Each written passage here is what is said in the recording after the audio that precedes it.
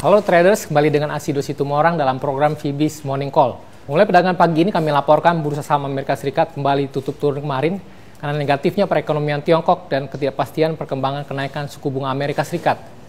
Dow Jones tutup turun 2,84 persen dengan penurunan saham Apple yang memimpin penurunan saham blue chip lainnya. Sementara S&P 500 tutup turun 2,94 persen dengan penurunan tertinggi pada saham sektor energi yang memimpin semua 10 sektor saham yang lebih rendah. Sementara Nasdaq ditutup turun 2,96 persen. Untuk bursa Asia juga dibuka melemah, terpengaruh penurunan bursa Wall Street dan memburuknya ekonomi Tiongkok.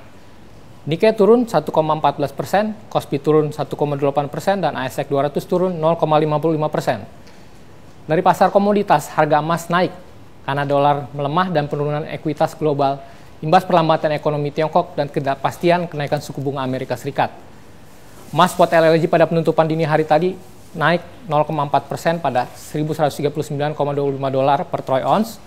Sementara harga minyak pada penutupan bursa berjangka WT bulan Oktober anjlok 7,7 persen ke posisi 45,41 dolar per barel, terganjal kenaikan persediaan minyak mentah Amerika Serikat. Dari pasar valuta asing, dolar melemah terhadap yen akibat melemahnya data manufaktur Tiongkok.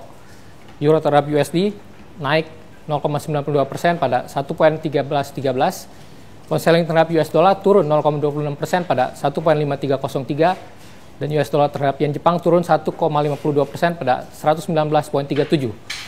Dari pasar modal Indonesia pada penutupan perdagangan hari Selasa kemarin ditutup turun 2,15 persen pada posisi 4.412.46. Pelemahan terjadi dengan menurunnya perdagangan dan investor masih mewaspadai perlambatan ekonomi global dan juga kondisi dalam negeri terkait demonstrasi buruh.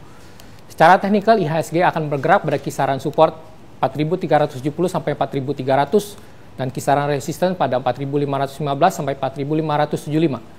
Saham-saham yang menarik untuk dicermati hari ini adalah KLBF, CPIN, BWPT, dan PGAS. Demikian program Fibis Morning Call pada pagi ini. Sampai berjumpa pada edisi berikutnya. Selamat berinvestasi. Salam Fibis.